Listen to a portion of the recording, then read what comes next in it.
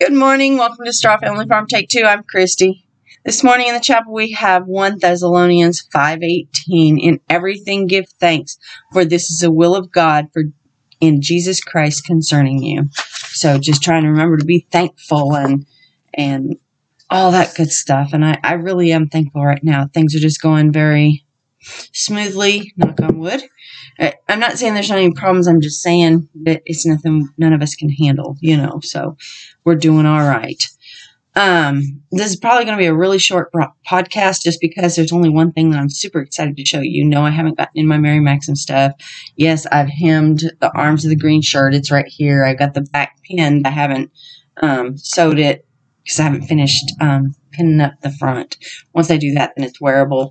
But yeah, so I did start something that I'm a little excited about. It's kind of like the on, you know, in the basket, in the dye pot, on the wheel. I got this whole thing going in my head. So, um, if you guys remember, I went to Fiber Festival. I got three fibers. I got some Targhee, which I got like 240 yards out of. Then I got some Tunis, which I got like 356 yards out of. Yes, I was reading that.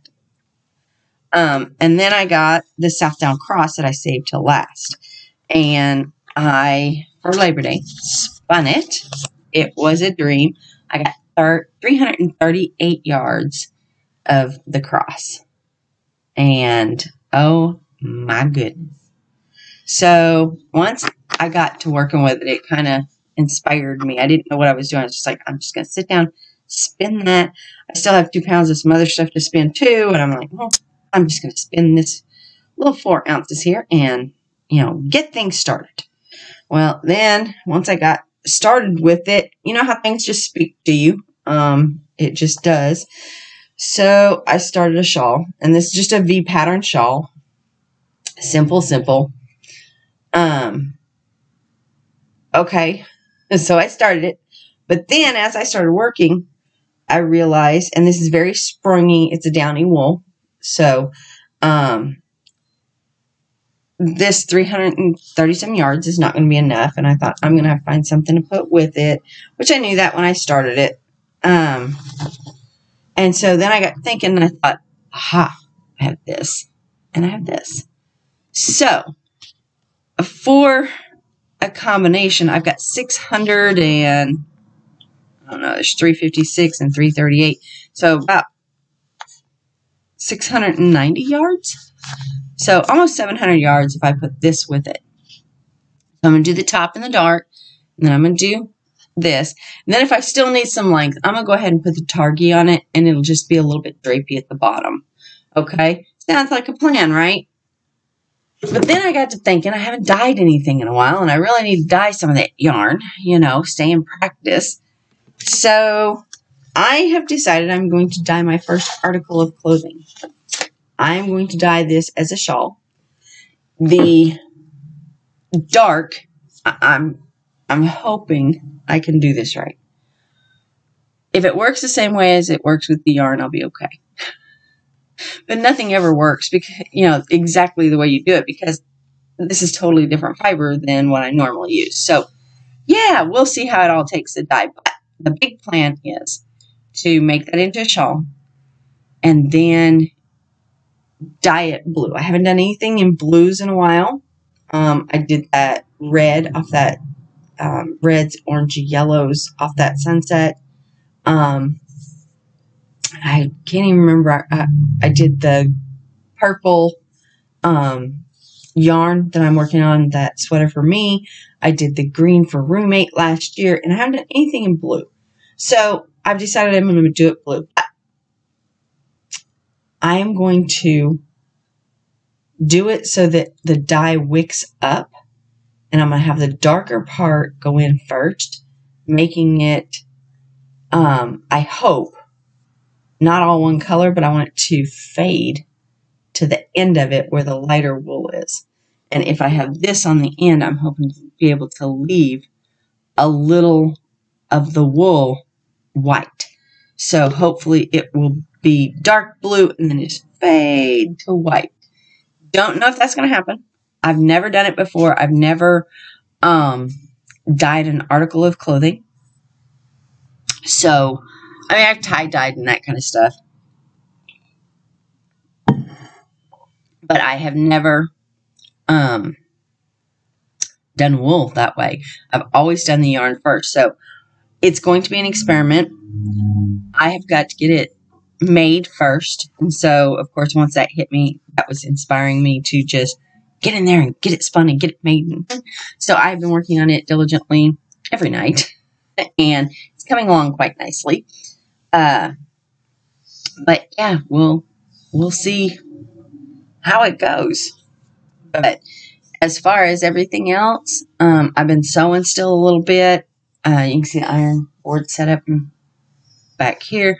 RJ's been working. He works sale barn and stuff. He's trying to get some bills paid off and uh, he just he's working. That's about it, and rodeoing. So he's trying to get things paid down, paid off, and he says if his if he could just get things paid off, he'd be a little bit happier. Which he's right. He he wouldn't be a little happier. He'd be a little bit more stress free. So I'm gonna try and see if I can't help out a little bit in that. Um, I did get a raise at work, which I was really surprised about. Um, so I've been there. What is today? The seventh, just a week shy of ninety days, and they included me in a a large bonus a month ago, and then they did their annual reviews early this year because of the economy and the gas prices and and they know people are feeling it. So they did the review and I actually got I got two raises all in one to save her time. So I got my 90 day review a little bit early, got a dollar raise for that. Then I got another dollar raise just because the first of the year they do evaluations and she anticipates me to continue to improve. I know $2 an hour doesn't sound like a whole lot, but when you put it in perspective, I work a 40 hour week. That's $80 a week. That turns into $160 extra each check and $320 extra a month. So I am definitely super happy with that. Um, and I should be able to. Now, a lot of it might go to taxes. I don't know. Um, I try to keep my tax at 8% is what I have to pay in to break even at the end of the year. So I try to keep that level down. I'm gonna see what it does to me there. Um, I gotta call and see if it pops me up into a higher tax bracket or whatever, but I don't think it will because right now the taxes are. I have hair in my mouth. So cattywampus anyway. It's not just that sheet that you used to look up and say, okay, this is what. Now they they make you figure it yourself and there's a bigger chance of you screwing it up and yeah so i try. I try that's all i can say. So um it is what it is and we'll see how it goes but i did get a raise at work and i'm gonna start giving him a little bit extra on payments so that he can do with them. So anyway and on top of that not only did it take effect the first of the month, this is a three week pay period because I get paid the 15th and the 30th first. Um, every once in a while, we get at three weeks in there because there's five weeks in the month. So, yeah, I like that. I really do because it looks really nice. so, all right. Um, I'm going to get off of here. I will talk to y'all later. I know this isn't very long.